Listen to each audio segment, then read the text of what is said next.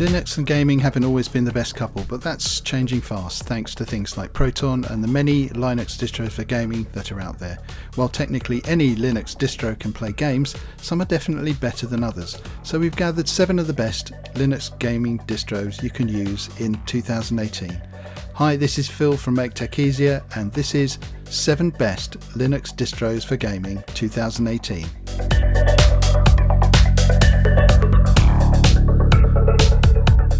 Not that many people associate Linux with gaming, but the times are changing and big dogs in the industry are coming up with clever ways to make games tick on the platforms.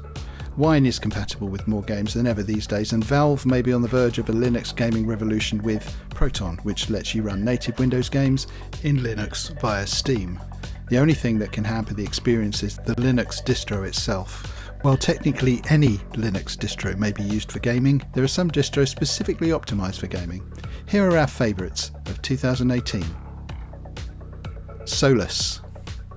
Solus is an elegant all-round Linux distro, pre-packaged with plenty of useful software to get you up and running quickly, but it also has a secret trick up its sleeve, LSI or Linux Steam Integration. What this means is that it replaces the Steam runtime, letting Steam work with the libraries already on your system, rather than those that come packed with Steam. And what does that mean? It increases both game stability and performance, two of the most important considerations when gaming, and the results are impressive. You can expect substantial frame rate gains across many games compared to a typical distro, and of course you can take advantage of Valve's Proton technology to play an ever-growing repertoire of Windows games on Linux. Ubuntu. It may seem like an obvious choice, but when Valve, the owner of the world's biggest gaming platform, recommends something as the best Linux distro for gaming, it's on us to at least hear what they have to say. While you can more or less use Steam on any Linux distro, you're bound to encounter certain distro specific issues at some point, or in some cases even have to compile the Steam dependencies yourself. Ubuntu makes things very stable and simple. Ubuntu isn't exactly a lightweight distro, but it's the most popular for a reason, and its repositories are right at the front of the queue when it comes to graphics card, driver updates, Steam client updates, and stability improvements. It's a reliable distro that gives you plenty of flexibility and works brilliantly with Proton, Valve's ambitious project that lets you play an ever growing number of native Windows games on Linux. Think of it as the new wine. Ubuntu Game Pack. If you want to go with more of a complete package gaming distro, you should try the Ubuntu Game Pack. As its creators claim, it will provide a guaranteed start in thousands of games and applications for MS Windows and MS-DOS, and original design specifically for GNU Linux platform. The distro comes with Steam, Play on Linux, Lutris, Wine, Crossover, DOSBox, and DOSEMU, and many more game environments. It hasn't been updated for a few months at the time of writing though, and doesn't yet have Proton built into it, which means it's a little outdated as things stand. Ubuntu Game Pack also comes with Adobe Flash, so if you want to play Flash games online, this is possible too. Despite its power, Ubuntu Game Pack doesn't require very powerful hardware, which makes it perfect for older machines as well. SteamOS. For many Linux gamers, SteamOS is the best Linux gaming distro. It doesn't support as many hardware devices as the other distros, and that is why it comes here on this list. It requires at least 4GB of RAM, which is certainly not much, but if you want to turn your old machine into a gaming station, this is likely to happen. SteamOS is based on Debian, and it comes with Steam pre-installed. Steam is a proprietary gaming platform, hosting the vast majority of games you can get on Linux. Any game you can get through Steam is multi-platform, so if you already own the Windows version, then the Linux version will automatically pop up in your library. Admittedly, SteamOS hasn't gained as much traction as Valve would have hoped, particularly on the hardware front, as Steam machines, which ran SteamOS, have all but failed. Still, if you're after a dedicated gaming Linux distro, then this is the best choice. Sparky Linux.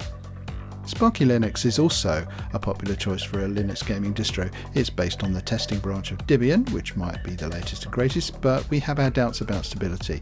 It's a testing branch after all. Sparky Linux favours light desktop environments such as LXDE, Enlightenment, JWM, KDE, LXQT, OpenBox, Mate, and XFCE. This is great because when games themselves load the machine, the last thing you want is a resource hungry desktop environment. When you run Sparky Linux, you can play right away, though as its creators themselves state, Sparky Linux isn't targeted at Linux beginners, so be prepared in the beginning, as there may be a slight or not so slight learning curve. MGame we included MGame or Manjaro Gaming Edition on this list because it is an Arch based distro and we know Arch has fans among our readers.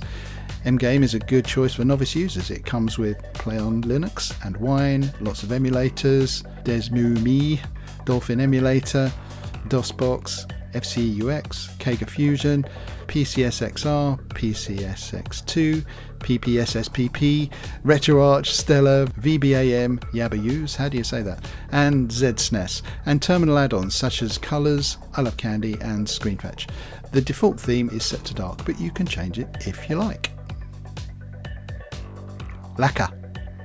All retro gamers will love Lakka. This distro is a bit different from the rest. It turns your computer into a retro game console. It's lightweight with minimal hardware requirements. Lakka is based on the RetroArch emulator and it can emulate numerous systems. It also has automatic joypad recognition, rewinding, netplay and shaders. Lakka is also a great option for setting emulators on a Raspberry Pi device. Lakka runs from a USB and the install is only about 300 megabytes. Conclusion These distros are what we consider the best for gaming on Linux. Of course, tastes differ, and it doesn't mean you'll think the same. It's nice there are a few more to consider if these distros are not good for you. You can also check out GameDrift Linux. There used to be one more, but Play Linux has been discontinued. Still, there is quite a lot of choice of Linux gaming distros, and chances are your favourite games will run in any one of them. So, if you like this video, then please gently tap that like button, leave a comment, and also visit our Make Tech Easier YouTube channel for more guides, tutorials, and lists about all things tech. We cover Windows, Linux, Mac, iOS, Android, and everything in between, so we will almost certainly have something for you. Plus, if you feel so inclined, hit the subscribe button and never miss our latest videos. And for extra credit, please hit the notification bell too to be alerted immediately when new videos hit the channel. Okay, as always, thanks for watching. That's it for now. See you next time.